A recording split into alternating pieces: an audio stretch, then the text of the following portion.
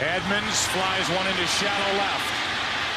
Pujols ranging too far off second. Throw home. Out at the plate and the inning is over.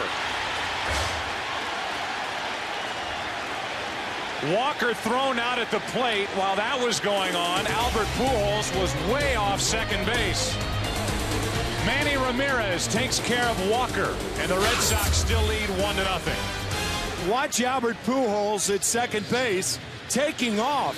I think he thought there were two outs until he saw Larry Walker tagging at third. Jason Varitek, on the other hand, acts as though there's no play at home plate. The decoy gets Larry Walker sliding away. A fine throw by Ramirez and a terrific tag by Varitek and a whack on the backside by Pedro Martinez.